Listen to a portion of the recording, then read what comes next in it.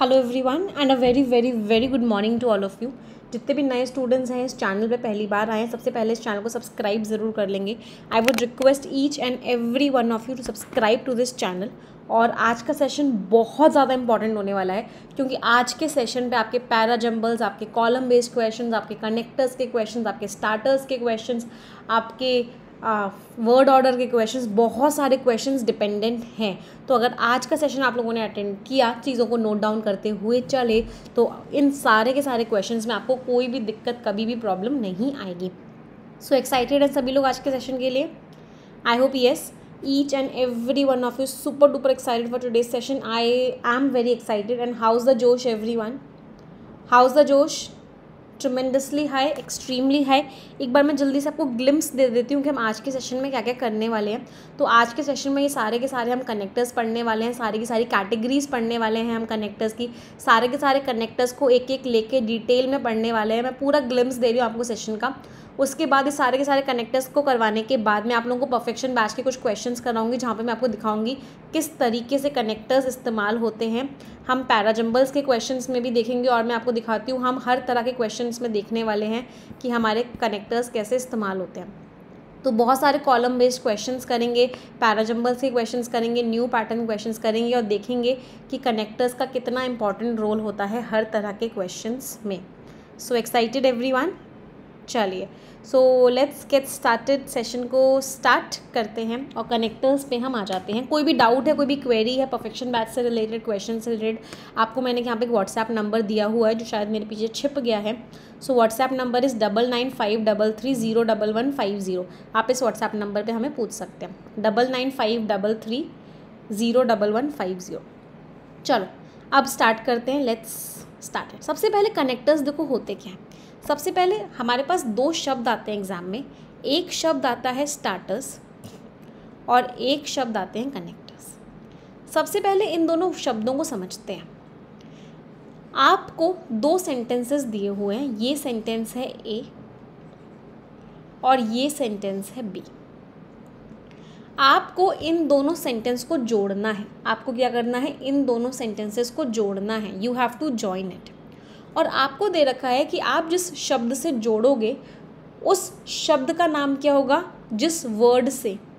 या जिस फ्रेज से आप इन दोनों सेंटेंसेस को जोड़ोगे या इन तीनों सेंटेंसेस को जोड़ोगे उस वर्ड का या उस फ्रेज का नाम क्या होगा उस वर्ड का या उस फ्रेज का नाम होगा कनेक्टर अब अगर आपको एक कंडीशन दे दी जाए कि ये जो वर्ड है ये जो फ्रेज़ है ये सिर्फ और सिर्फ स्टार्टिंग में ही आ सकता है आपको एक कंडीशन दे दी गई कि ये जो वर्ड है या ये जो फ्रेज़ है ये सिर्फ और सिर्फ स्टार्टिंग में ही आ सकता है तो इसका नाम क्या हो गया इसका नाम हो गया स्टार्टर समझ में आया स्टार्टर और कनेक्टर के बीच में डिफरेंस तो कनेक्टर में सब आ गए कनेक्टर में सारे के सारे आ गए जो कहीं भी जोड़े बीच में स्टार्टिंग में लेफ्ट हैंड साइड में राइट हैंड साइड में लेकिन स्टार्टर में सिर्फ और सिर्फ वो वाले आएंगे जो स्टार्टिंग में लग कर जोड़ पाएंगे तो स्टार्टर जो होता है वो कनेक्टर का एक सबसेट होता है मैम ये रीजनिंग कैसे आ गई आ गई बिल्कुल आ गई सभी कम्बाइंड है तो starter is what starter is a subset of connector starter connector का सबसेट होता है मतलब ऑल स्टार्टर्स आर कनेक्टर्स जितने भी स्टार्टर्स होते हैं वो कनेक्टर्स होते हैं but all connectors are not starters लेकिन सारे के सारे कनेक्टर्स स्टार्टर्स नहीं होते हैं but all connectors are not starters only a few connectors are starters क्या ये बात समझ में आई मतलब स्टार्टर्स जो होता है वो कनेक्टर्स का एक हिस्सा होता है स्टार्टर्स में सिर्फ स्टार्टिंग वाले आते हैं जबकि कनेक्टर्स में सारे के सारे आते हैं क्या ये बात सभी को समझ में आई एवरी वन चलो अब बात करते हैं कौन कौन से हमारे कनेक्टर्स होते हैं कैसे हमें क्वेश्चंस करने हैं तो कनेक्टर्स को समझने के लिए सबसे ज़्यादा इम्पॉर्टेंट चीज़ है कि मेरे पास कैटेगरीज़ हों अभी मैं आप लोगों को क्वेश्चन कराऊंगी तो मैं आपको बोलूँगी कि ये वाला कनेक्टर इस कैटेगरी का था इसलिए इसको यहाँ पर इस्तेमाल किया गया ये वाला कनेक्टर इस कैटेगरी का था इसलिए हमने इसको यहाँ पर स्टार्ट किया तो कैटेगरी समझना बहुत ज़रूरी है और सबसे इम्पॉर्टेंट कैटेगरी जो होती है कनेक्टर की the first and the most important category of connector is what सबसे इम्पॉर्टेंट कैटेगरी होती है कनेक्टर की दैट इज़ कॉन्ट्रास्ट कनेक्टर कौन सी कैटेगरी होती है सबसे पहली कॉन्ट्रास्ट कॉन्ट्रास्ट का मीनिंग क्या है हम दो ऑपोजिट तरह के सेंटेंसेस को वो सेंटेंसेस जो अलग अलग बात कर रहे हैं हम उनको कनेक्ट जब करते हैं तो वो कैटेगरी हमारी कौन सी में आती है वो कैटेगरी होती है हमारी कॉन्ट्रास्ट कैटेगरी एक मिनट पेन चलना बंद हो गया अचानक से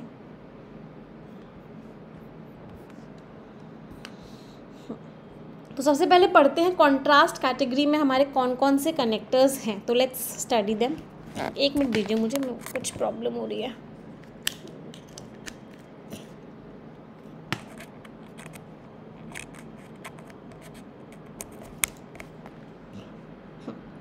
सबसे पहली कैटेगरी हमें कौन सी पढ़नी है सबसे पहली कैटेगरी पढ़नी है हमें कॉन्ट्रास्ट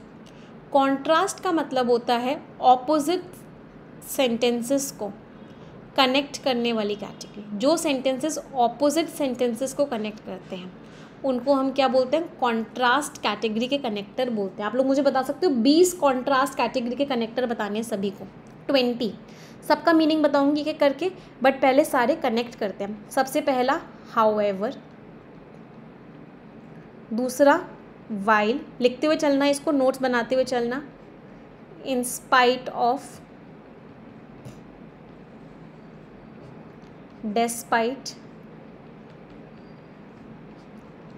whereas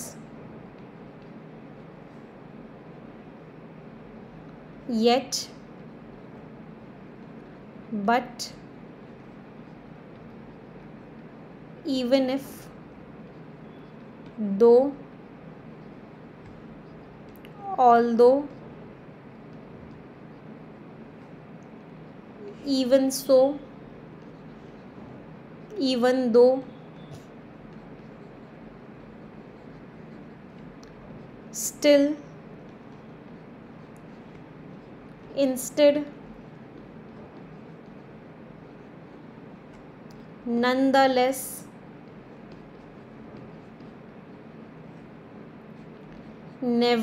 nevertheless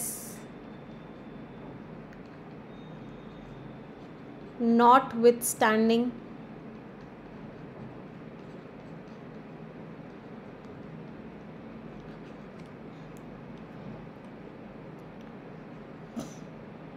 और कोई बच गया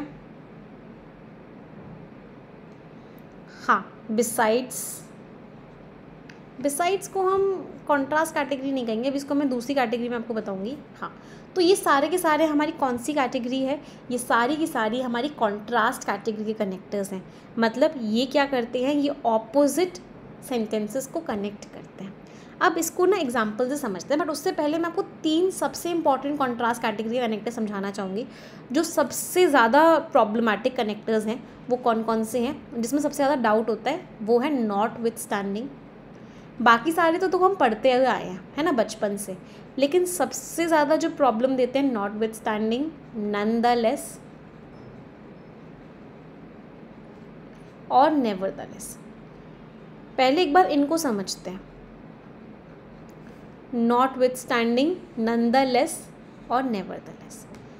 ये जो नॉट विथ स्टैंडिंग कनेक्टर होता है इसको सेंटेंस की हेल्प से समझते हैं इस सेंटेंस को देखो Notwithstanding the extreme cold, I left the house wearing shorts. इतनी ज़्यादा ठंड होने के बावजूद भी मैं शॉर्ट्स पहनकर घर से निकल गया तो नॉट स्टैंडिंग वर्ड का मीनिंग क्या होता है नॉट स्टैंडिंग वर्ड का मीनिंग होता है के बावजूद नॉट स्टैंडिंग वर्ड का मीनिंग क्या होता है किसी चीज़ के बावजूद मतलब उस चीज़ के बावजूद भी मैं घर से बाहर निकल गया इसका मतलब इन स्पाइट ऑफ इसका मतलब डेस्पाइट इसका मतलब इंस्टेड ऑफ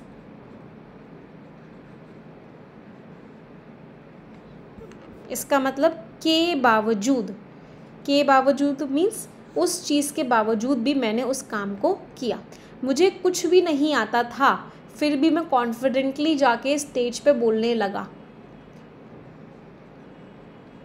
बाहर इतनी तेज़ बारिश हो रही थी उस चीज़ के बावजूद भी मैं घर से बाहर निकल गया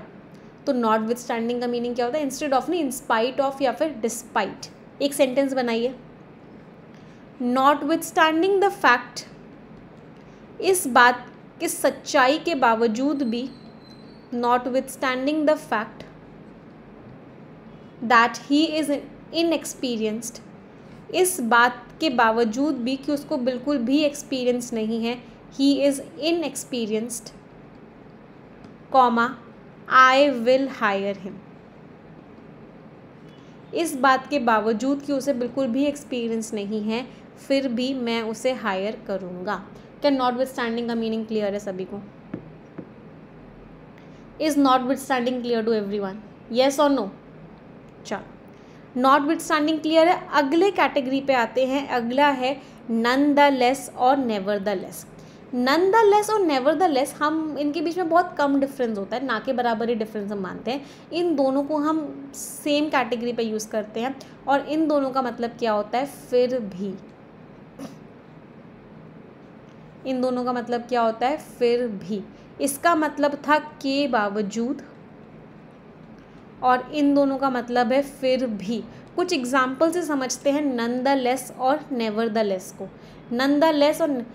I kept losing money way until I was left way one मैं पैसा हारता रहा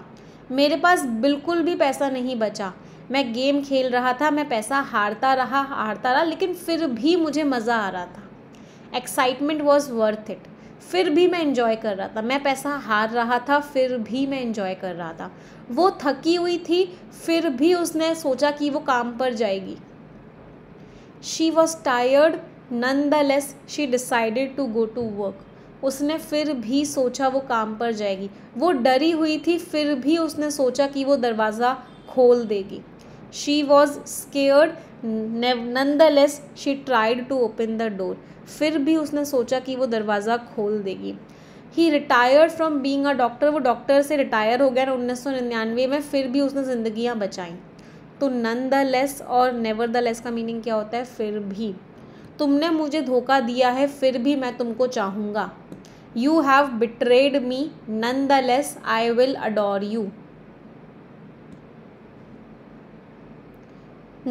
notwithstanding the fact that you have betrayed me इस सच्चाई के बावजूद कि तुमने मुझे धोखा दिया है notwithstanding the fact that you have betrayed me comma I will adore you इस बात के बावजूद तुमने मुझे धोखा दिया है मैं तुमको चाहूँगा क्या notwithstanding none the less never the less समझ में आया सभी को तीनों ये तीनों सबसे इंपॉर्टेंट कनेक्टर्स हैं इन तीनों में सबसे ज़्यादा कन्फ्यूज होते हैं क्लियर सभी को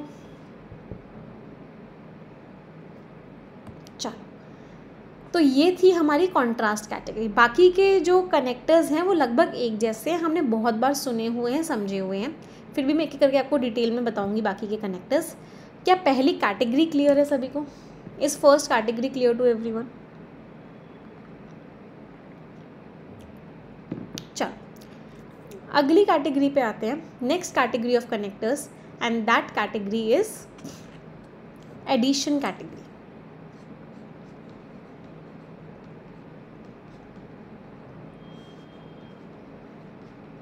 अच्छा एक रिक्वेस्ट करूँगी चार हज़ार बच्चे लगभग देख रहे हैं लेकिन लाइक्स केवल पंद्रह सौ है ऐसा क्यों if four thousand students are watching तो फोर थाउजेंड लाइक्स भी होने चाहिए तो I would request every one of you to like this session बेटा बहुत मेहनत की है मैंने सेशन के ऊपर अभी मैं आप लोगों को क्वेश्चन करवाऊँगी इतने सारे क्वेश्चन करवाने वाले हो अभी मैं आप लोगों को आज की क्लास में सारे कॉन्सेप्ट बिल्कुल बेसिक से हम क्लियर करने वाले हैं तो I would request every one एक बार लाइक और शेयर ज़रूर जल्दी से कर दो जिससे कि मैक्सिमम स्टूडेंट्स को इस क्लास के बारे में पता चल जाए चलो एडिशन कैटेगरी बात करते हैं अभी सबके मीनिंग बताऊंगी एक एक करके सबके मीनिंग बताऊंगी डोंट वरी ये सारी दो स्लाइड्स बनाई हुई हैं दो सबके मीनिंग बताऊंगी एक एक करके इसलिए डोंट वरी पहले एक बार कैटेगरीज पढ़ लो एडिशन कैटेगरी मतलब जो दो इन्फॉर्मेशन को ऐड करे जो दो इन्फॉर्मेशन को ऐड करे उसको क्या बोलते हैं एडिशन कैटेगरी इसका मतलब पहला शब्द क्या आता है बिसाइड्स वो एक डॉक्टर के अलावा एक एक्टर भी है बिसाइड्स का मीनिंग क्या हो गया के अलावा वो एक डॉक्टर के अलावा एक एक्टर भी है बिसाइड्स ईदर और या तो वो एक डॉक्टर है या फिर एक एक्टर है या तो या फिर तीसरा नॉट ओनली बट ऑल्सो ना केवल लेकिन भी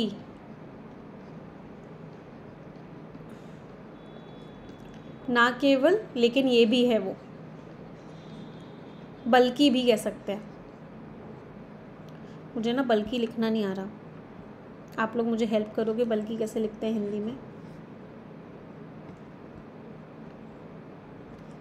बचपन में मम्मी ने सिखाया तो था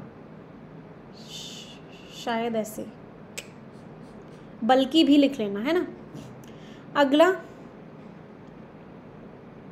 नीदर नॉर ना ये और ना ही वो हाँ इसका पीडीएफ आपको टेलीग्राम चैनल पे मिल जाएगा इस क्लास के बाद डोंट वरी इसी क्लास के बाद आपको इसका पीडीएफ शेयर कर दूंगी अच्छा चलो आप लोगों ने मेरी हेल्प कर दी है थैंक यू सो मच हाँ बल्कि भी एज वेल एज के साथ साथ अगला V one plus I N G से भी हम इन्फॉर्मेशन ऐड करते हैं वर्ब की first form plus I N G से भी हम क्या करते हैं इन्फॉर्मेशन ऐड करते हैं अगला आफ्टर से भी हम इंफॉर्मेशन ऐड करते हैं या फिर किसी प्रपोजिशन को भी हम यूज़ कर सकते हैं एडिशनल कैटेगरी में जिससे इन्फॉर्मेशन ऐड हो जाती है इसके बाद इसको नोट डाउन करते हुए चलना वैसे मैं पीडीएफ भी दे दूंगी बट एक बार नोट डाउन करोगे तो खुद से भी याद रहेगा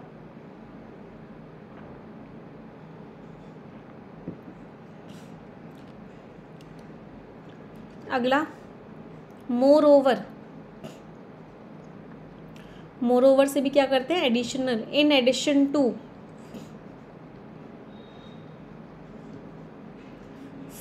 furthermore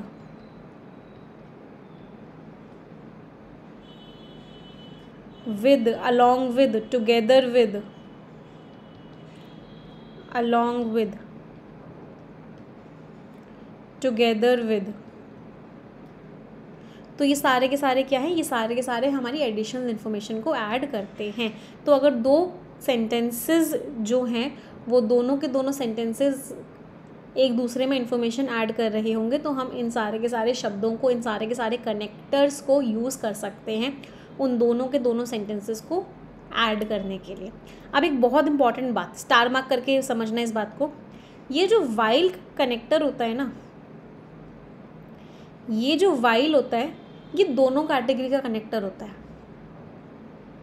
ये वाइल एडिशनल कैटेगरी का भी कनेक्टर होता है और ये जो वाइल है ये आपका कॉन्ट्रास्ट कैटेगरी का भी कनेक्टर होता है एडिशन और कॉन्ट्रास्ट दोनों का होता है कैसे दोनों का होता है जब ये कॉन्ट्रास्ट कैटेगरी का कनेक्टर होता है तब इसका मतलब होता है हालांकि I am a doctor while my sister is an actor ये दो ऑपोजिट सेंटेंसेस को कनेक्ट करता है जब ये एडिशन कैटेगरी का कनेक्टर होता है इसका मतलब होता है दो काम साथ में हो रहे हैं दो काम कैसे हो रहे हैं साथ में हो रहे हैं I am teaching while you are studying तो जब भी कोई दो काम या दो एक्शन साथ में होते हैं तब भी हम वाइल को यूज़ कर सकते हैं तो वाइल जो कनेक्टर होता है हाँ जबकि कह सकते हैं हालांकि से ज़्यादा बेटर वर्ड है जबकि तो ये जो वाइल कनेक्टर होता है ये कॉन्ट्रास्ट कैटेगरी का भी होता है और ये जो कनेक्टर होता है बेटा ये एडिशन कैटेगरी का भी कनेक्टर होता है तो अगर एडिशन हो रहा हो दो एक्शन सेम टाइम पे हो रहे हो तब भी वाइल यूज़ कर सकते हो या दो ऑपोजिट स्टेटमेंट्स दे रखे हो तब भी वाइल को आप इस्तेमाल कर सकते हो कोई डाउट यहाँ तक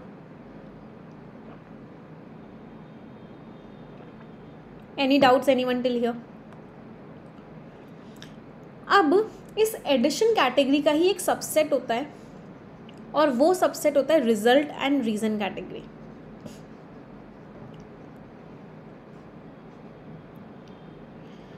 इसका एक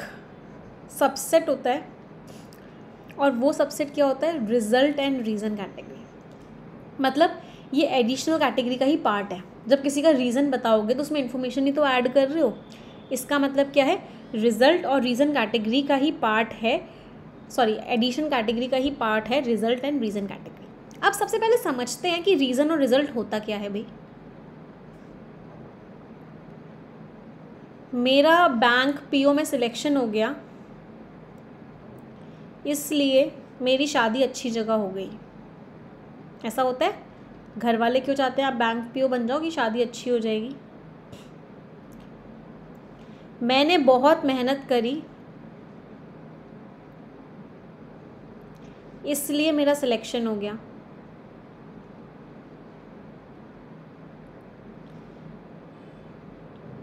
मैं दिन रात I was burning midnight oils burning midnight oil का मतलब क्या है मैंने बहुत मेहनत करी इसलिए I could clear R B I grade B मैं वो एग्ज़ाम क्लियर कर पाया तो रीज़न रीज़न का मतलब क्या है कारण रिजल्ट रिजल्ट का मतलब क्या है उसका आउटकम क्या है उसका रिजल्ट क्या निकला मैम इस बात को तो एकदम मानते हैं बैंक पीओ बन जाओ चलो तो अब हमारे कुछ कनेक्टर्स ऐसे होते हैं जिनके बाद में रिजल्ट आता है कौन कौन से वो कनेक्टर्स हैं जिनके बाद में रिजल्ट आएगा कोई मुझे बता सकता है पांच कनेक्टर्स का नाम बताओ जिनके बाद में रिजल्ट आता है so so I clear the exam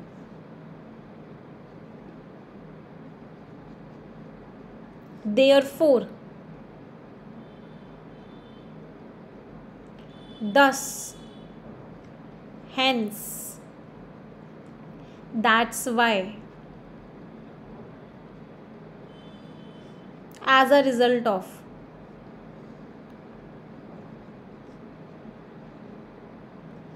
ये सारे के सारे कनेक्टर्स हैं जिनके बाद हमेशा रिजल्ट ही आएगा जिनके बाद कभी भी रीज़न नहीं आ सकता you can not use reason with them you will always and always use result with them जो फॉर एग्ज़ाम्पल मैंने लिखा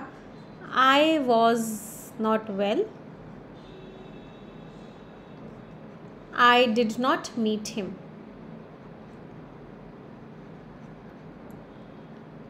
ये रीज़न है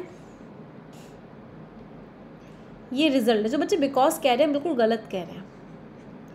आप इन दोनों को कनेक्ट सिर्फ और सिर्फ सो से देयर फोर से हैंस से दस से एज अ रिजल्ट ऑफ से ही कर सकते हो कुछ कनेक्टर्स ऐसे होते हैं जिनके बाद हमेशा रीज़न आता है कौन कौन से वो कनेक्टर्स हैं जिनके बाद हमेशा रीज़न आएगा जिसके बाद आपको हमेशा कारण बताना पड़ेगा वो हैं आपके because because I was not well since I was not well as I was not well owing to the reason owing to का मतलब क्या होता है due to the fact that I was not well. Due to क्योंकि for for के आगे भी reason आता है for I was not well तो ये सारे के सारे कनेक्टर्स हैं जिनके आगे हमेशा रीज़न आता है इन सब के आगे हमेशा रिजल्ट आना था दैट्स वाई यहाँ पर आएगा और इन सब के आगे हमेशा रीज़न आएगा क्या ये बात क्लियर हुई is this thing clear to everyone yes और नो माई चैम्पियंस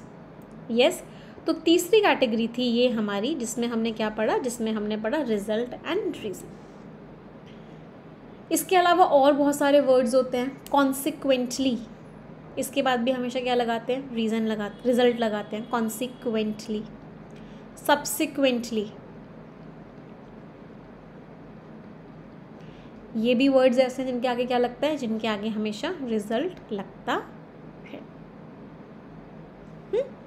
चलो अगली कैटेगरी पे आते हैं नेक्स्ट कैटेगरी अगली कैटेगरी है हमारे कंजंक्शंस की and that is which one जगह कम पड़ गई मेरे लिए लिखने के लिए रुको मुझे एक स्लाइड ऐड कर देती हूँ कंडीशन कैटेगरी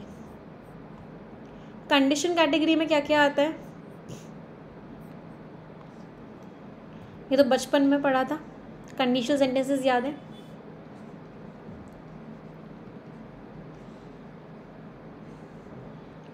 पहला इफ दूसरा अंटिल तीसरा अनलेस फोर्थ सपोजिंग वेन भी कंडीशनल कैटेगरी में मान लेते हैं प्रॉपर कंडीशन कैटेगरी नहीं होती लेकिन कुछ सेंटेंसेस होते हैं दो सेम टाइम पे होते हैं no sooner than as soon as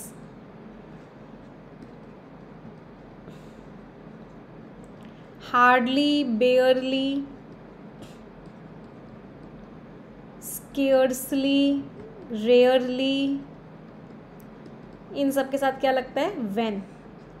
तो ये जो है हमें दो एक्शंस बताते हैं एक एक्शन हुआ दूसरा एक्शन हुआ अगर वो एक्शन नहीं हुआ तो दूसरा एक्शन भी नहीं हुआ तो इस तरह की कैटेगरी को हम क्या बोलते हैं इस कैटेगरी को हम बोलते हैं कंडीशनल सेंटेंसेस की कैटेगरी राइट हम क्या करते हैं लेस्ट अदरवाइज वेदर राइट तो ये सारे के सारे हमारी कौन सी कैटेगरी में आते हैं ये सारे के सारे हमारी कंडीशनल कैटेगरी में आते हैं तो बेसिकली हमने कनेक्टर्स की चार कैटेगरीज पढ़ी हैं एक बार मेरे साथ रिपीट करेंगे कौन कौन सी चार कैटेगरीज पढ़ी हैं contrast additional conditional and result and reason कोई डाउट किसी को अभी मैं पढ़ाऊँगी एक एक करके ये सारे कनेक्टर्स पढ़ाऊँगी फिर इन सारे कनेक्टर्स पे क्वेश्चन होंगे आज बेटा मैराथन क्लास है तो बहुत सारी चीज़ें आज हम करने वाले हैं so don't worry regarding that कोई डाउट किसी को भी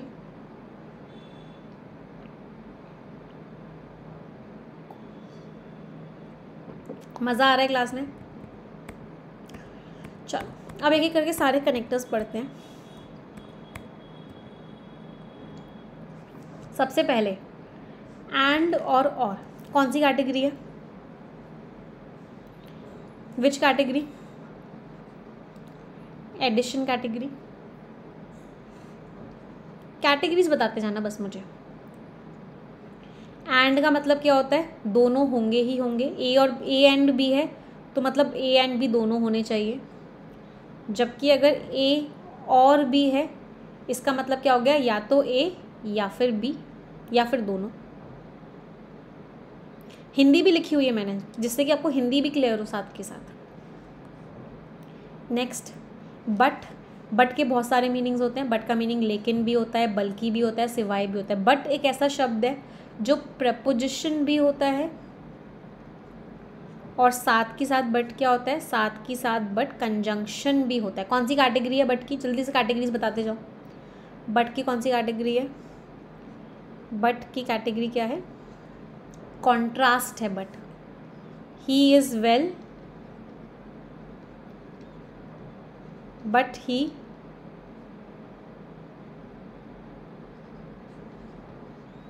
speaks या फिर he is not well but he speaks confidently he is not well but he will attend the session वो उसकी तबीयत ठीक नहीं है फिर भी वो सेशन को अटेंड करेगा यहाँ पे बट क्या है यहाँ पे बट कंजंक्शन है यहाँ पे बट का मीनिंग क्या है यहाँ पे बट का मीनिंग है लेकिन उसकी तबीयत ठीक नहीं है फिर भी वो सेशन को अटेंड करेगा बट का मीनिंग सिवाय भी होता है all but Ram went to the party all but Ram went to the party यहाँ पे बट क्या है but is a preposition over here इसका मतलब क्या है राम के सिवाय सब लोग पार्टी में गए तो बट कौन सी कैटेगरी हो गई बट इज़ कॉन्ट्रास्ट अगला बताओ सिवाय और अलावा इसका मीनिंग होता है so hence henceforth that's why therefore that's the reason thus ये कौन सी कैटेगरी थी जो अभी अभी हमने पढ़ी which category is it it is result and reason category very good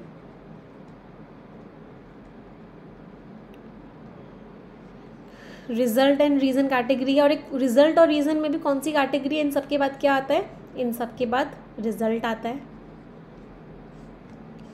इन सब के बाद हम क्या लिखेंगे हमेशा इन सब के बाद रिजल्ट लिखेंगे इन सब का मीनिंग क्या है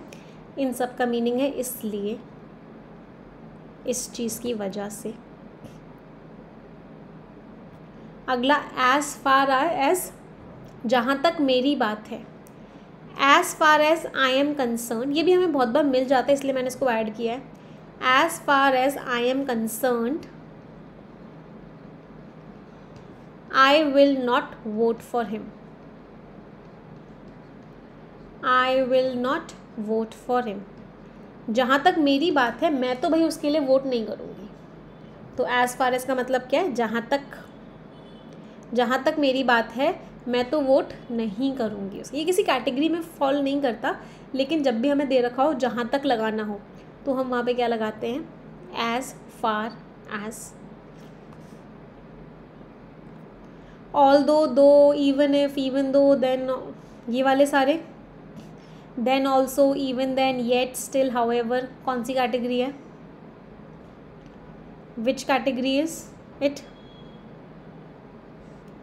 contrast category इसमें तीन और ऐड कर सकते हो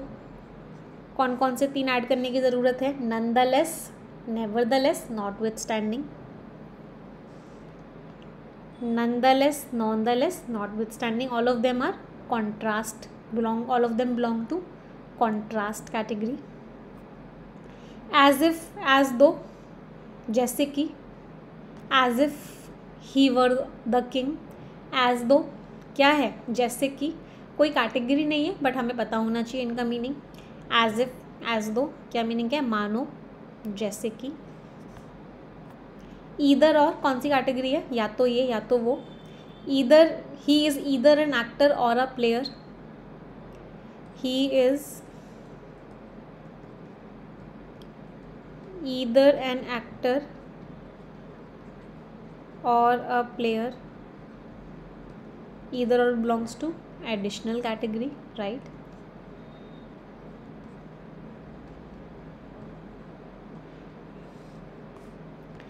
तो बेटा ऐसा थोड़ा होता है कि प्रपोजिशन एडिशनल कैटेगरी का होता है प्रपोजिशन और अच्छा एक इम्पॉर्टेंट चीज़ मैं एक बात क्लियर करना चाहूँगी एक बच्चे को डाउट है कनेक्टर कंजंक्शन नहीं होता है कंजंक्शन कनेक्टर हो सकता है बट सारे कनेक्टर्स कंजंक्शन नहीं होते हैं कनेक्टर का मतलब है कनेक्ट करने वाला शब्द प्रपोजिशन भी कनेक्ट करता है कंजंक्शन भी कनेक्ट करता है फ्रेज भी कनेक्ट करता है तो every connector is not a conjunction इस बात को समझो कनेक्टर और कंजंक्शन में अलग अलग बात है कंजंक्शन एक पार्ट ऑफ स्पीच होता है कनेक्टर वो शब्दों का ग्रुप होता है या वो शब्द होता है जो दो सेंटेंसेस को कनेक्ट करता है नीदर नॉर ना तो ये ना तो वो कौन सी category again additional category hmm, अच्छा एक स्पेशल केस होता है नॉर और नीदर का इसको भी समझ लेना इसमें नीदर और नॉर अकेले अकेले आते हैं हमें इस बात को भी ध्यान रखना है कि नीदर नॉर साथ में भी आ सकते हैं और अकेले भी आ सकते हैं I do not like tea मुझे चाय नहीं पसंद है नॉर डज ही ना ही उसको पसंद है अब यहाँ पे नॉर अकेले आया है कौन सी कैटेगरी हो गई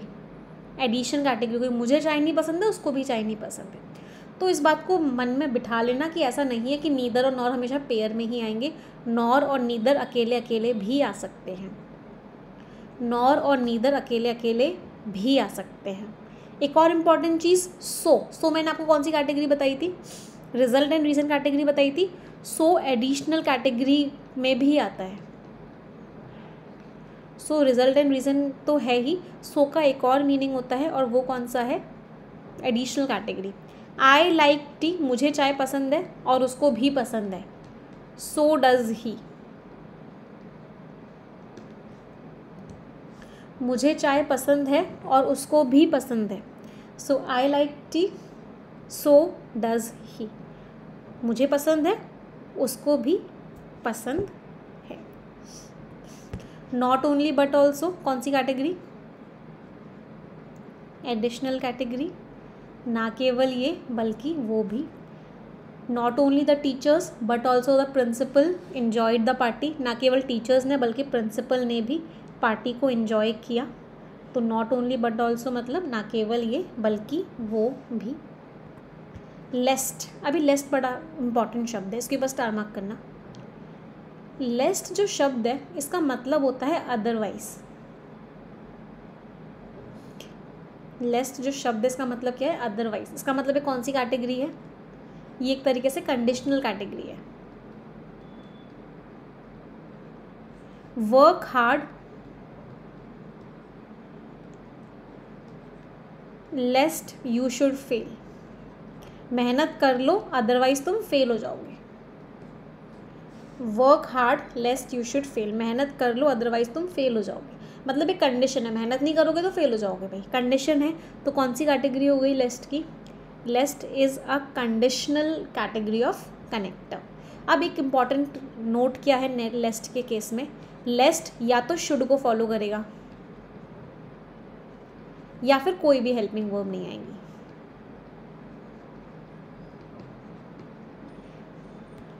दूसरी हेल्पिंग वर्ब नहीं आ सकती लेस्ट के साथ या तो शुड लगाओ या कुछ भी मत लगाओ work hard lest you fail भी सही है work hard lest you should fail भी सही है work hard lest you fail भी सही है लेकिन will would can could may might ऐसा कुछ भी नहीं लगा सकते या तो शुड लगाओ या फिर कुछ भी मत लगाओ लेस्ट का मीनिंग क्या है अदरवाइज अन्यथा कहीं ऐसा ना हो जाए ये ना हो जाए कि तुम फेल हो जाओ समझ में आ रहा है कनेक्टर्स नेक्स्ट अदरवाइज वही बात हो गई लेस्ट वाली work hard otherwise you will fail work hard या फिर else you will fail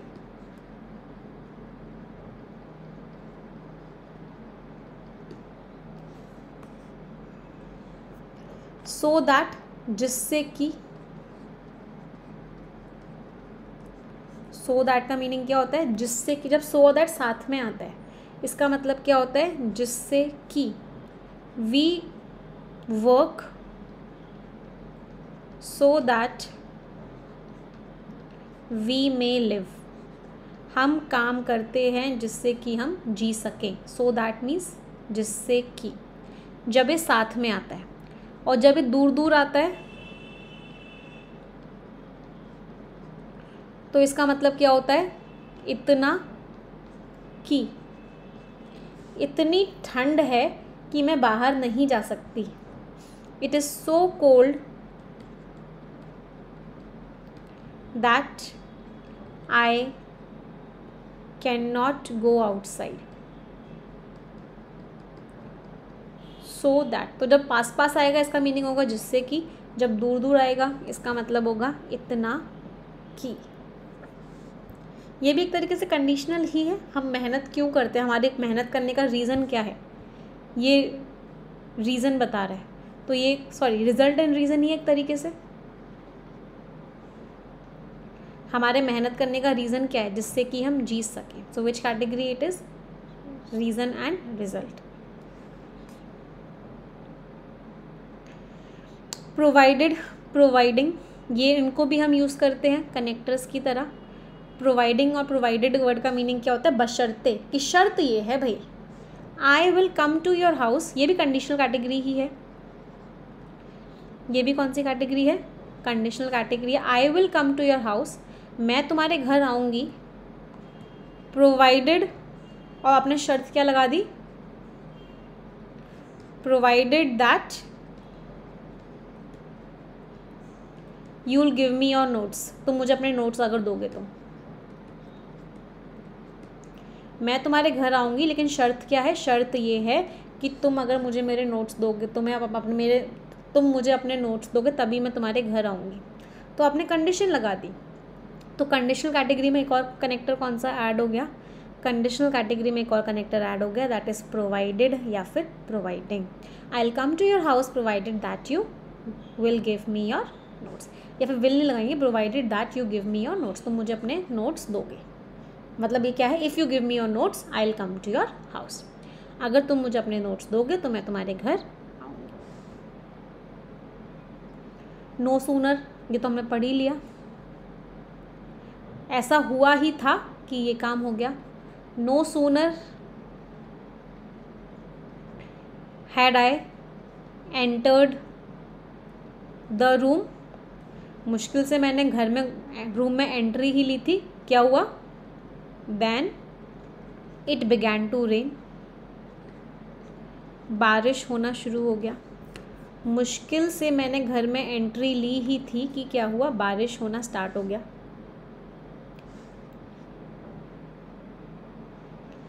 till the time by the time as long as till until unless ये भी एक तरीके से कंडीशनल कैटेगरी ही है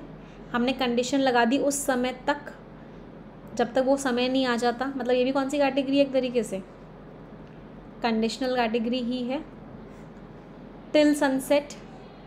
till that time by that time as long as you do that work condition लगा दी unless and until कौन सी कैटेगरी फिर से कंडीशनल कैटेगरी कंडीशन लगा दी जब तक तुम मुझे बटर चिकन नहीं खिलाते तब तक मैं वेजिटेरियन हूँ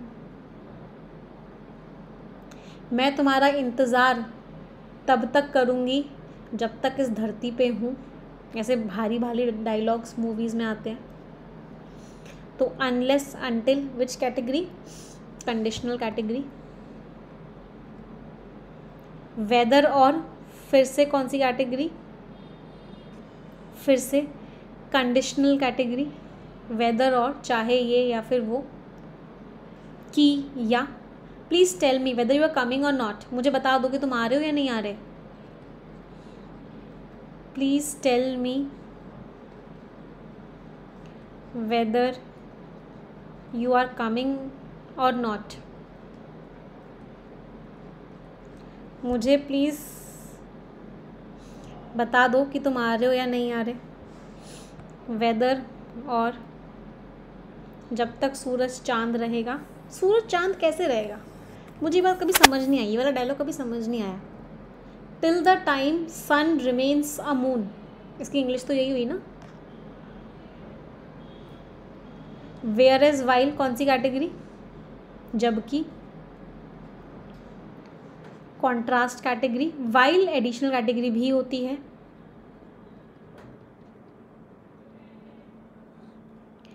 वाइल एडिशनल कैटेगरी भी होती है वैसे दोनों कौन सी कैटेगरी है कॉन्ट्रास्ट कैटेगरी है समझ में आए सारे कनेक्टर्स अब हम परफेक्शन बैच के क्वेश्चन करेंगे बट क्या समझ में आए सारे connectors everyone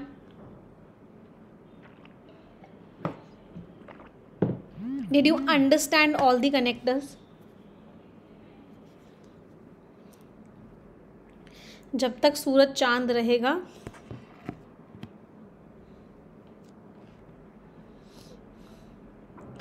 पीडीएफ आपको टेलीग्राम चैनल पे मिलेगा English with Nimisha Bansal English with Nimisha Bansal Telegram channel है पीडीएफ पे टेलीग्राम पे जाना और एक चीज़ सर्च करना मुझे पता नहीं था कल ही पता चला ये बात बता देती हूँ क्या निमिषा मैम डालना तो सबसे ऊपर जो चैनल आएगा ना टेलीग्राम पे क्या डालोगे निमिषा मैम सबसे ऊपर जो चैनल आएगा ना इंग्लिश विद निमिषा बंसल पे five one point five nine lakh subscribers हैं उस वाले चैनल को ज्वाइन कर लेना है ठीक है अब करें क्वेश्चंस करें ये वाले नहीं करवा रही कुछ डिफ़िकल्ट से कुछ मज़ेदार क्वेश्चंस करते हैं चलो तैयार हैं सभी लोग डाउनलोड्स रेडी कनेक्टर्स के क्वेश्चंस करने के लिए हाउस द जोश सबसे पहले मुझे तो परफेक्शन बैच से पूछना ज़रूरी होता है परफेक्शन वैसे क्वेश्चन करने से पहले how's the josh everyone very high चलो डायरेक्शंस पढ़ लो इन द क्वेश्चंस बिलो जो नीचे क्वेश्चन दिए हुए हैं तीन कॉलम्स दिए हुए हैं कॉलम वन और थ्री में इंडिपेंडेंट सेंटेंसेस हैं अलग अलग सेंटेंसेस हैं और कॉलम टू में कनेक्टर्स हैं आपको उन दोनों सेंटेंसेस को कनेक्टर्स की हेल्प से ज्वाइन करना है और आपको बताना है कौन सा कनेक्टर ज्वाइन करना है एक इंपॉर्टेंट बात स्टार्टर का क्वेश्चन नहीं कनेक्टर का क्वेश्चन है तो कनेक्टर के क्वेश्चन का मतलब क्या होता है कि इस कनेक्टर को हम कहीं भी प्लेस कर सकते हैं ये जो कनेक्टर है वो कहीं भी आ सकता है और ये रहा पहला सवाल आपकी स्क्रीन पे हमेशा याद रखना जब भी कॉलम बेस्ड क्वेश्चंस करते हैं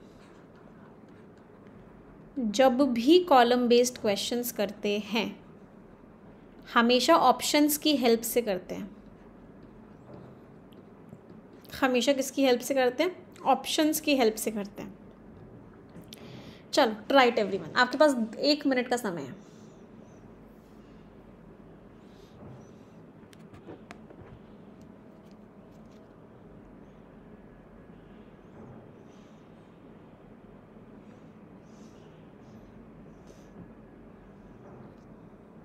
क्या आंसर होगा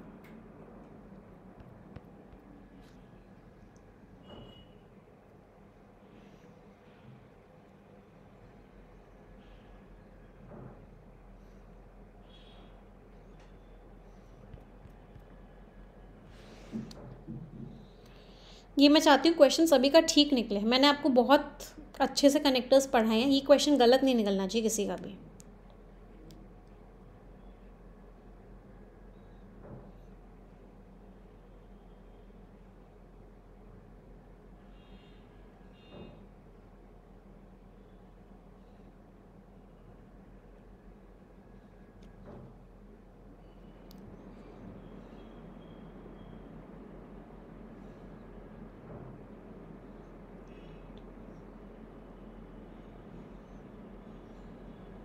पढ़ लो अच्छे से take time but don't give wrong answer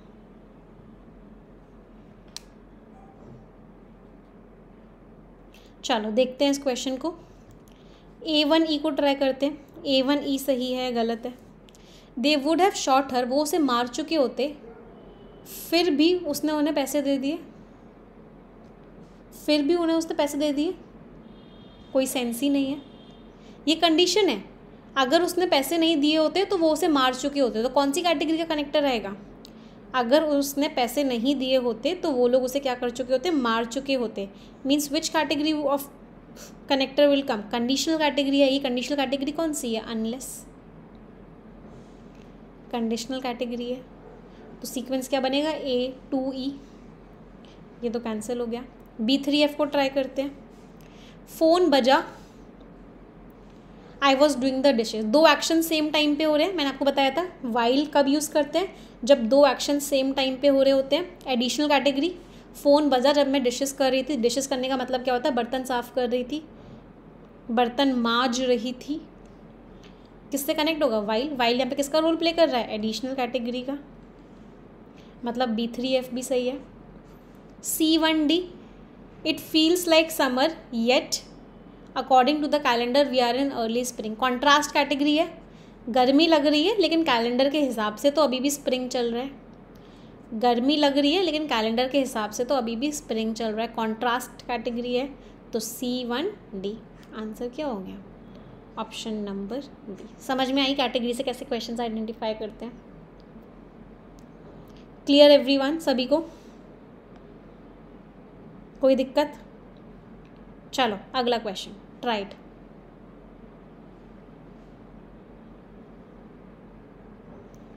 try the next question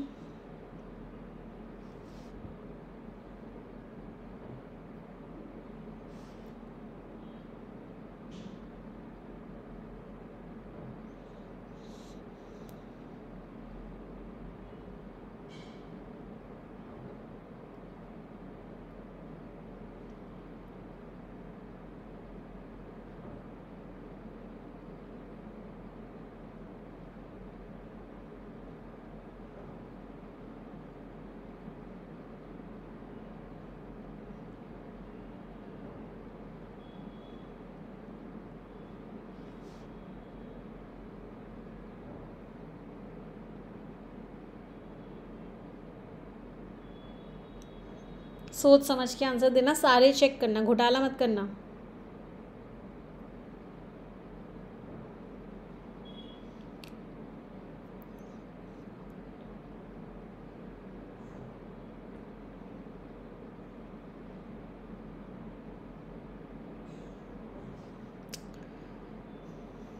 ये कंट्रास्ट कैटेगरी है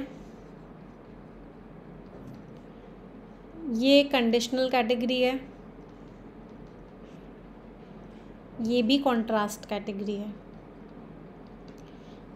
डोंट ड्रिंक एल्कोहल एल्कोहल मत पियो अगर तुम अच्छे से केयरफुली ड्राइव भी करते हो तब भी एल्कोहल मत पियो भाई तब भी अल्कोहल मत पियो तो अभी कन्फ्यूजन है ए में बी वालों को ट्राई करते हैं look at the map please map देख लो नहीं तो तुम खो जाओगे मैप देख लो नहीं तो तुम खो जाओगे मतलब बी टू एफ तो क्लियर है मैप देख लो नहीं तो तुम खो जाओगे इसका मतलब ये वाला ऑप्शन भी एलिमिनेट हो गया ये वाला ऑप्शन भी एलिमिनेट हो गया they worked hard for the test उन्होंने बहुत मेहनत करी लेकिन फेल हो गए कॉन्ट्रास्ट कैटेगरी से ऐड करोगे उन्होंने मेहनत तो बहुत करी लेकिन वो क्या हो गए फेल हो गए सी वन ई इसका मतलब ये वाला ऑप्शन भी एलिमिनेट हो गया तो आंसर क्या बचा ऑप्शन नंबर है अल्कोहल मत पियो कोई बात नहीं तुम केयरफुली ड्राइव करते हो लेकिन फिर भी अल्कोहल मत पियो मैप देख लो नहीं तो तुम खो जाओगे उन्होंने मेहनत करी फिर भी वो फेल हो गए कितने बच्चों का ठीक निकला how many of you give the right answer चलो नेक्स्ट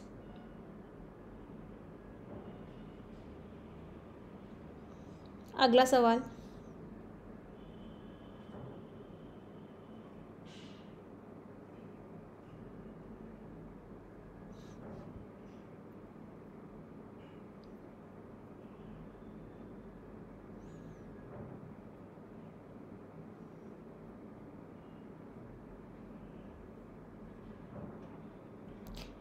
अच्छा जितने स्टूडेंट्स को ऐसे बहुत सारे क्वेश्चंस प्रैक्टिस करने हैं वो सभी स्टूडेंट्स परफेक्शन की बुक ले सकते हैं परफेक्शन की बुक आती है हमारी Amazon Flipkart at books dot in सब पे आती है तो if you want to practice a lot of question of this level of high level तो थाउजेंड क्वेश्चन की बुक है परफेक्शन बुक वो आप ले सकते हैं अमेजोन फ्लिपकार्ट या फिर एड बुक्स एक प्लेटफॉर्म है वहाँ पर भी आपको ये बुक मिल जाती है एड बुक्स डॉट इन चलो now answer this question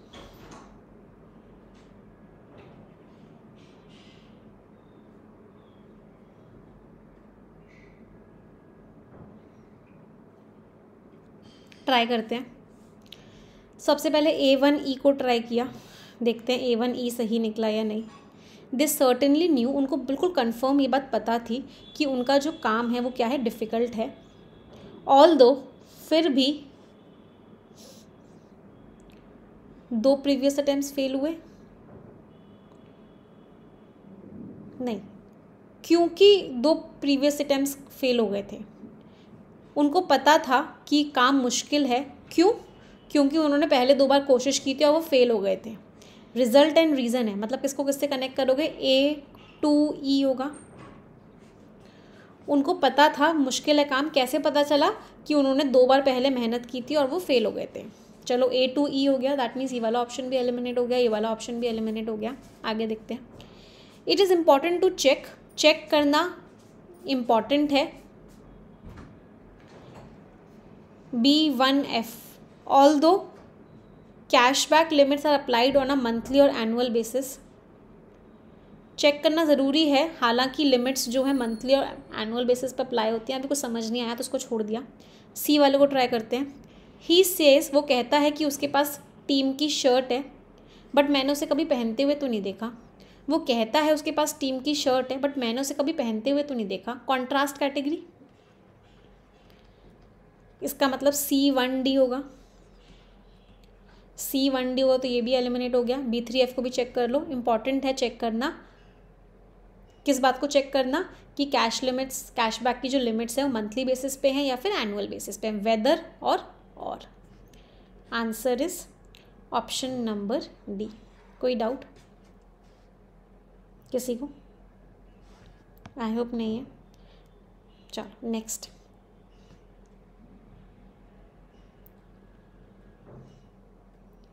अगला क्वेश्चन करिए बताइए क्या आंसर होगा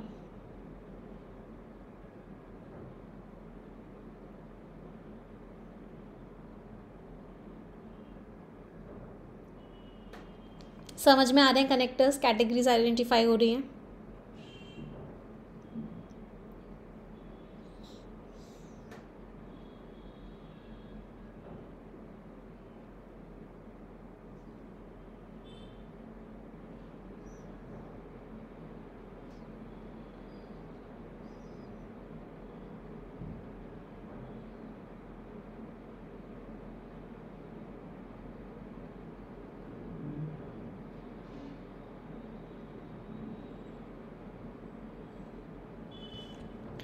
let's see how many of you give the right answer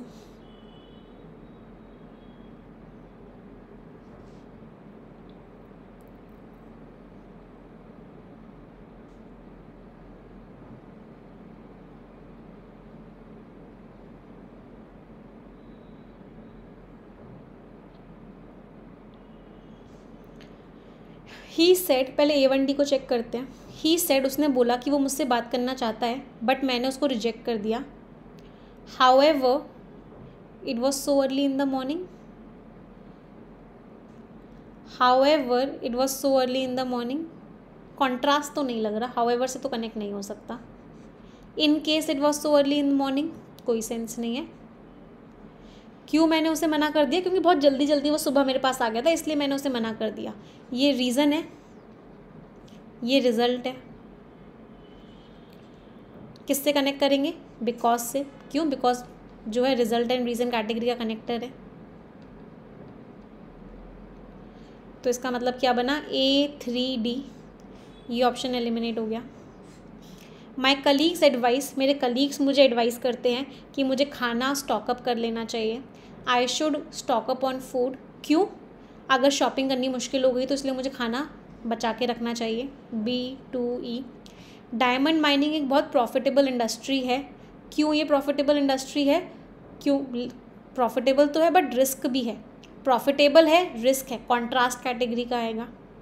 contrast category का आएगा मतलब however that means C one and F answer क्या हो गया ऑप्शन नंबर सी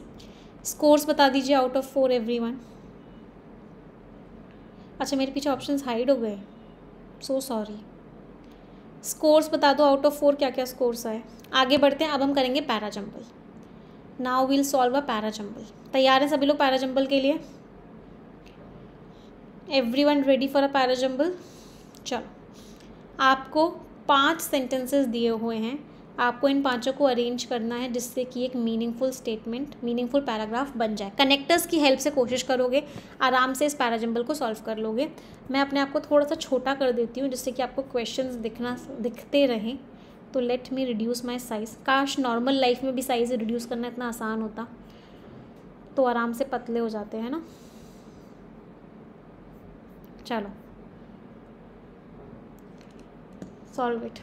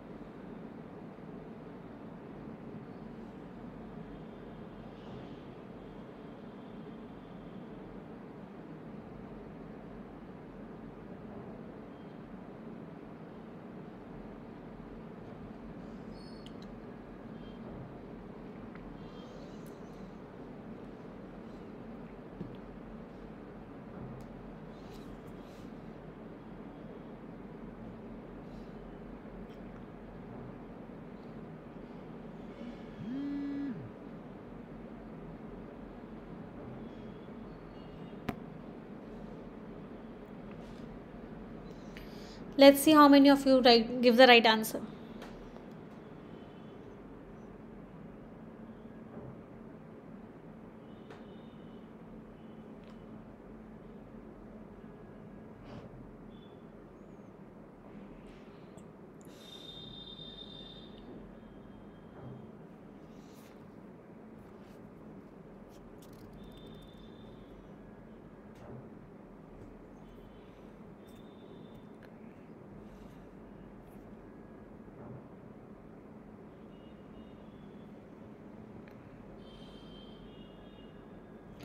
starting statement बताओ हाउ एवर से कभी भी पैराजम्बल स्टार्ट नहीं हो सकता देयर फोर से नहीं हो सकता दिस से नहीं हो सकता अब डी और ई e में चेक करना पड़ेगा इन दोनों में से इंट्रोडक्शन कौन दे रहा है यहाँ तो कहीं बीच की बात हो रही है that means D is the starting statement D क्या हो गया हमारा स्टार्टिंग स्टेटमेंट हो गया जो सुसाइड बॉम्बिंग्स हुई काबुल एयरपोर्ट पे अफ़गानिस्तान पे उन्होंने लगभग कम से कम 110 लोगों को मार दिया जिसमें तेरह हमारे यूएस सोल्जर्स भी थे सो सुसाइड बॉम्बिंग्स जो हुई काबुल एयरपोर्ट पे 110 लोग मर गए तो इससे क्या हुआ 110 लोग मर गए तेरह यूएस सोल्जर्स मर गए तो इसका रिजल्ट क्या निकला बताओ डी का पेयर किसके साथ बनेगा इससे क्या हुआ इतने सारे लोग मर गए ये रीज़न है किसी चीज़ का डी का पेयर बताओ किसके साथ होगा कहाँ पे रिजल्ट और रीज़न वाला कनेक्टर है कहाँ पे रिजल्ट और रीज़न वाला कनेक्टर दे रखा है एवरी वन फोर इसलिए क्या हुआ इसलिए सिचुएशन बहुत ज़्यादा ख़राब हो गई कौन सी कैटेगरी का कनेक्टर था ये रिजल्ट एंड रीज़न ये रीज़न था और ये इसका क्या था ये इसका रिज़ल्ट था तो यहाँ पे क्या आया for the situation there has become horribly complicated situation जो है वो बहुत ज़्यादा ख़राब हो चुकी है चलो अब आगे करते हैं यहाँ पे लिखा हुआ है डेडलाइन एक्सटेंड करना इस समय प्रैक्टिकल नहीं है हालांकि डेडलाइन एक्सटेंड करना प्रैक्टिकल नहीं है एक आप पेयर बताओ किसके साथ है डेडलाइन को एक्सटेंड करने की बात कहाँ की गई है एक आप पेयर किसके साथ है डेडलाइन को एक्सटेंड करने की बात डेडलाइन को बढ़ाने की बात कहाँ की गई है ई में की गई है कि इवैक्यूएशन एयरपोर्ट्स एयरपोर्ट पे इवैक्यूएशन होना स्टार्ट हो गया लोगों को बाहर निकाला जा रहा है लेकिन सारे फॉरेन नेशनल्स को उठाना अगस्त इकतीस तक डिफ़िकल्ट है हालांकि डेडलाइन को बढ़ा देना भी इस समय इम्प्रैक्टिकल है और इससे क्या लग रहा है कि और ज़्यादा अटैक्स हो सकते हैं क्या ई e और ए का पेयर समझ में आ रहा है क्या सभी को ई e और ए का पेयर समझ में आ रहा है हाउएवर कभी पहले नहीं आता बेटा हाउएवर बाद में आता है हाउएवर जो होता है वो से, दो सेंटेंसेस के बीच में आता है कभी भी स्टार्टिंग में नहीं आ सकता हाउएवर इसलिए ए और ई e पेयर नहीं होगा ए और ई e में तो आप हाउएवर को पहले लगा रहे हो नहीं जब भी दो कॉन्ट्रास्ट स्टेटमेंट्स होंगे हाउएवर बीच में आएगा हाउएवर कभी भी स्टार्टिंग में नहीं आ सकता वो कॉन्ट्रास्ट स्टेटमेंट्स के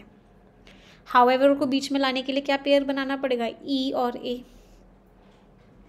चलो बहुत सारे अटैक्स होंगे इन टर्न का मीनिंग क्या होता है as a result of which इससे क्या होगा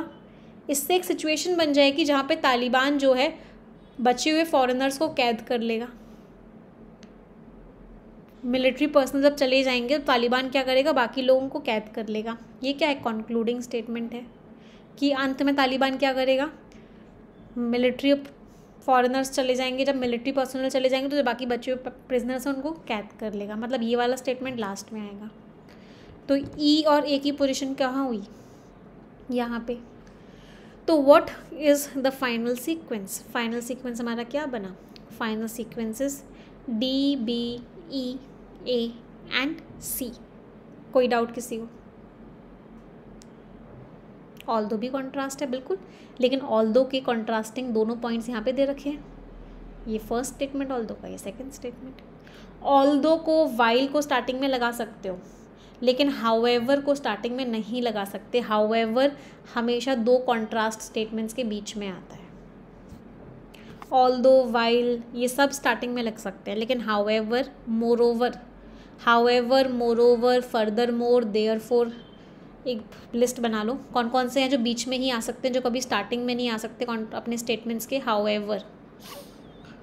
moreover yet still but therefore thus hence so ये सारे के सारे दो स्टेटमेंट्स के बीच में आएंगे ये कभी भी स्टार्टिंग में नहीं आ सकते you can not you can not put them in start clear everyone B last हो सकता था क्या नहीं हो सकता था बी लास्ट बी में सिचुएशन की बात हो रही है सिचुएशन कहाँ दे रखी थी डी में दे रखी थी डी में सिचुएशन थी तो डी और बी का पेयर था इसलिए बी लास्ट में नहीं हो सकता B can not be at the end आप लोग पता क्या करते हो आपको लगता है देयर फोर हमेशा लास्ट में ही आता है एज अ रिजल्ट ऑफ हमेशा लास्ट में ही आता है दस हमेशा लास्ट में ही आता है ऐसा कोई कॉन्सेप्ट नहीं होता बेटा ये रिजल्ट होता है किसी चीज़ का तो ये अपने रीज़न के बाद आएगा ऐसा कोई कॉन्सेप्ट नहीं होता कि ये लास्ट में ही आएगा समझ आया जम्बल सभी को तो क्वेश्चन है पेनल्टीमेट और टर्मिनल स्टेटमेंट का पेयर बनाना है D B E A C बना हुआ था D B E A C penultimate बोलते हैं सेकेंड लास्ट स्टेटमेंट को टर्मिनल होता है लास्ट तो सीक्वेंस क्या बना A and C sequence is what A and C ready for the next question now अगला पैराजम्बल आपकी स्क्रीन पे अब इस बार गलती मत करना ये वाला सबको बिल्कुल सही बना के देना है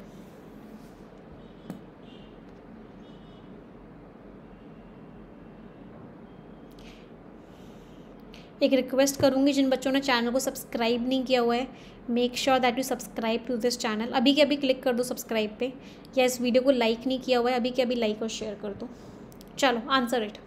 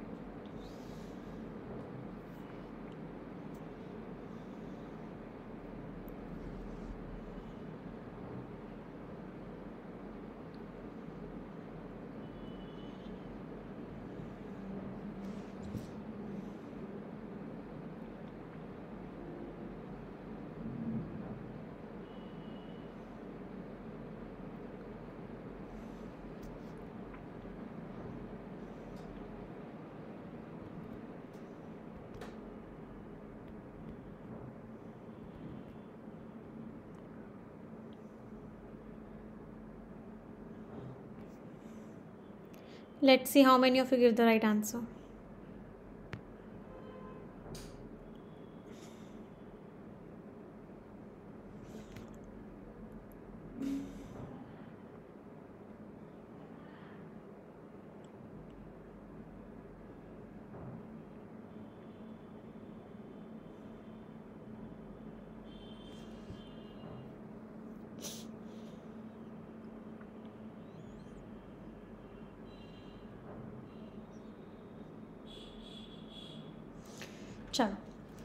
Further जो है कुछ पेयर्स बनाते हैं पहले है ना क्या सभी को क्लियर है सबसे पहली बात तो ये बी स्टार्टिंग स्टेटमेंट है किसी को इस चीज़ में कोई भी डाउट कि बी स्टार्टिंग स्टेटमेंट नहीं है यहाँ पे सिंस लिखा हुआ है यहाँ पे हाउ लिखा हुआ है हैंस लिखा हुआ है फर्दर लिखा हुआ है किस बारे में बात हो रही है दिस गैप लिखा हुआ है ये स्टार्टिंग नहीं हो सकता क्या सभी को क्लियर है बी स्टार्टिंग स्टेटमेंट है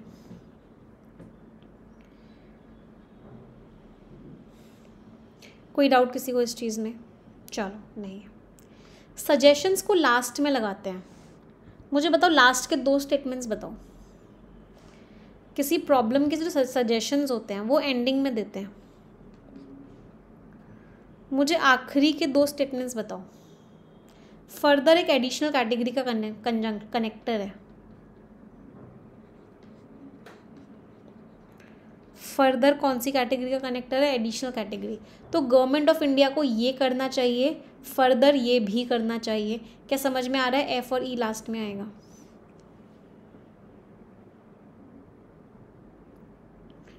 गवर्नमेंट ऑफ इंडिया को ये करना चाहिए और गवर्नमेंट ऑफ इंडिया को ये भी करना चाहिए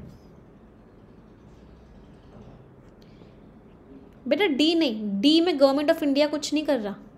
कोई और चीज़ है जो गवर्नमेंट ऑफ इंडिया के ऊपर काम कर रही है suggestions related to government of India government of India को लेकर सजेशंस क्या हैं गवर्नमेंट ऑफ इंडिया को लेकर सजेशंस क्या हैं गवर्नमेंट ऑफ इंडिया को लेकर सजेशंस हैं कि गवर्नमेंट ऑफ इंडिया को इस गैप को करना कम करना चाहिए और गवर्नमेंट ऑफ इंडिया को ये बात इंश्योर करनी चाहिए कि मेहनत करें इस बात को इंश्योर करने के लिए कि जिन लोगों ने एक डोज़ ली है वो दूसरी डोज़ भी ले एफ और ई e होगा बेटा ई e और एफ नहीं होगा फर्दर बीच में आता है further moreover however yet but उसमें एक शब्द फर्दर और ऐड कर दो ये बीच में आते हैं ये कहाँ आते हैं बीच में आते हैं ये स्टार्टिंग में नहीं आते इसका मतलब क्या है ई e और एफ नहीं होगा एफ और ई e होगा एफ और ई e होगा तब जाके फर्दर बीच में आएगा क्या ये बात क्लियर है सभी को चलो अब बीच वाले स्टेटमेंट्स को कनेक्ट करना है तीन स्टेटमेंट्स बचे हैं उन तीनों की पोजिशन पता लगाने की किसकी पोजिशन क्या होगी पता करते हैं चलो पहले हमने बी को पढ़ा a study by Delhi sir Gangaram hospital जो डेली का जो सर गंगाराम का हॉस्पिटल है उसमें जो स्टडी की गई वो दिखाती है कि कोई भी extra shows hardly any extra protection single vaccine dose से कोई भी एक्स्ट्रा प्रोटेक्शन नहीं मिल रही है ये रीज़न है किसी चीज़ का इसका रिजल्ट कहाँ दे रखा है एक डोज से कोई प्रोटेक्शन नहीं मिल रही तो क्या होना चाहिए बी का पेयर बताओ किसके साथ है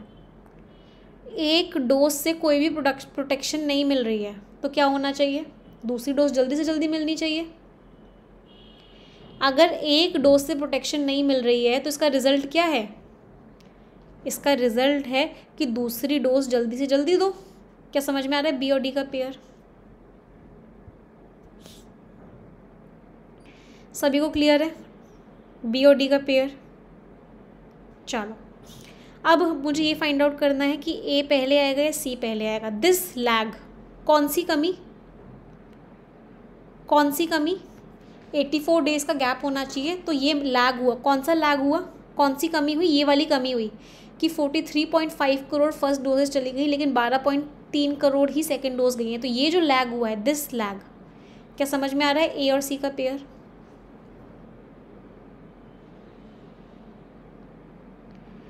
क्या ए और सी का पेयर समझ में आ रहा है ये जो लैग हुआ कौन सा लैग हुआ ये वाला कि फर्स्ट डोजेज इतनी सारी दे दी गई लेकिन सेकेंड डोज सिर्फ इतनी दी गई है तो फाइनल सीक्वेंस क्या बना B D A C F and E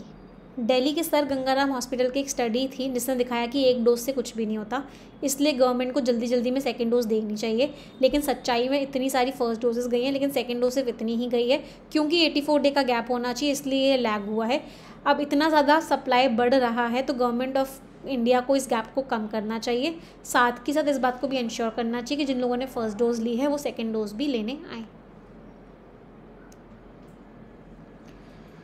तो क्वेश्चन क्या है तीन कॉन्जिक्यूटिव स्टेटमेंट्स का सीक्वेंस क्या बना B D A C F and E तो what is the final answer the final answer is B A C नहीं है C F and E option number B is the final answer मज़ा आया आज के session में तो बहुत सारे क्वेश्चन हमने आज के सेशन में किए आई होप सभी को ने इन्जॉय किया आज के सेशन आज के सेशन को येस और no did you enjoy today's session और नो नो नॉट यस चलिए ग्रेट ये मैं आप लोगों के साथ पीडीएफ शेयर कर दूँगी एक चीज़ और बता देती हूँ इस पीडीएफ में एक ख़ास बात है ख़ास बात ये है आप देख पा रहे हैं यहाँ पे मैंने सारे कंजंक्शंस की एक टेबल बनाई है मैं हमेशा कोशिश करती हूँ कि मैं जो भी टॉपिक आपको पढ़ाऊँ वो आपको टेबल की फॉर्म में पढ़ाऊँ क्योंकि टेबल्स को प्रिंट आउट निकाल के चिपका लेना रख लेना बना लेना कॉपीज़ में बहुत आसान होता है इसलिए मैंने आप लोगों के लिए टेबल बनाई है आप लोगों को दिख रही होगी ये टेबल इस टेबल में कंजंक्शंस लिखे हुए हैं उनका हिंदी मीनिंग लिखा हुआ है एक सारे कंजंक्शंस को साथ में लिखा हुआ है दिख रही है सभी को ये टेबल तो इसका पी प्लीज़ अपने पास सेव करके रख लेना इसके पीडीएफ को मैं अभी के अभी टेलीग्राम चैनल पे शेयर कर रही हूँ इंग्लिश विद निमिषा बंसल पे निमिषा मैम सर्च करना है आपको टेलीग्राम पे आपको मेरा चैनल मिल जाएगा इंग्लिश विद निमिषा बंसल कोई डाउट है मेरी क्लासेस को लेके परफेक्शन बैच को लेके कोई बुक को लेके कोई भी छोटे से छोटा डाउट हो बड़े से बड़ा डाउट हो आप हमें इस नंबर पर व्हाट्सएप करके पूछ सकते हैं double nine five double three zero double one five zero इस नंबर को लिख लो please WhatsApp me on this number जो बच्चे बहुत अच्छे लेवल के क्वेश्चंस मेरे साथ करना चाहते हैं मेरा परफेक्शन बैच चलता है रोज़ सुबह साढ़े आठ बजे उसकी क्लास होती है अगर परफेक्शन बैच को एनरोल नहीं कर पा रहे हो तो परफेक्शन बुक आती है मेरी वो ज़रूर ले लेना अमेज़ोन पे Flipkart at books dot in पर मेरी परफेक्शन बुक मिल जाएगी एड बुक्स डॉट इन से लोगे तो डिलीवरी जल्दी हो जाएगी तो ये बुक ले लेना और इसके क्वेश्चन सॉल्व कर लेना हज़ार क्वेश्चन इसमें इस तरह के दे रखे हैं आपको बहुत मज़ा आएगा क्वेश्चन को सॉल्व करने में कोई डाउट और कोई डाउट किसी को नहीं है चीज़ें समझ में आई हाँ अब एक क्वेश्चन है मेरा आप सभी से क्वेश्चन ये है कि आप लोग मुझे हर कैटेगरी के तीन तीन कनेक्टर्स कमेंट सेक्शन में बताओगे हमने जो चार कैटेगरीज पढ़ी हैं हर कैटेगरी के आप मुझे तीन तीन कनेक्टर्स बताओगे कमेंट सेक्शन में एक और इंपॉर्टेंट बात जैसे कि मैंने बोला था कि जो जो स्टूडेंट्स वीडियो के नीचे कमेंट करेंगे उनमें से हम कुछ स्टूडेंट्स को सिलेक्ट करके प्राइजेस देंगे तो उन बच्चों का आज मैं नाम अनाउंस करूँगी रात को कि किन किन स्टूडेंट्स को प्राइजेस मिलने वाले हैं तो make sure that you comment below in this video इस वीडियो में नीचे कॉमेंट और मुझे तीन कनेक्टर्स ज़रूर बताना हर कैटेगरी के और तो आप में से ही कुछ स्टूडेंट्स को सिलेक्ट करके कुछ प्राइजेस दिए जाएंगे ठीक है चलिए इनफैक्ट बुक गिव अवेज ही करेंगे हम बुक ही आपको मिलेगी चलिए तो आज का सेशन एंड करते हैं मुझे ज़रूर बताना आज का सेशन कैसा लगा आपको और कौन कौन से टॉपिक्स पे आपको वीडियो चाहिए कोई डाउट हो कोई क्वेरी हो अभी के अभी व्हाट्सएप करके पूछ लेना अगर मेरी क्लासेस अटेंड करनी है अन अकेडमी पर सब्सक्रिप्शन लेना है रेफरल कोड आपको मैं बता देती हूँ निमिशा है इस कोड को लगाओगे आपको मैक्सिमम डिस्काउंट मिल जाएगा अन अकेडमी पर मेरा स्पोकन इंग्लिश का कोर्स भी चलता है निमिशा बंसल एप्लीकेशन पर उस वहाँ से भी आप कोर्स को ले सकते हो रेफरल कोड लगा दोगे निमिशा वहाँ पर भी आपको डिस्काउंट मिल जाएगा निमिशा बंसल एप्लीकेशन पर मेरा कोर्स चलता है और कोई डाउट किसी को नहीं है चलिए तीन सेंटेंसेस सभी लोग मिलके बोलेंगे one two three and go English is a very easy language I am very good at English and I definitely get my dream job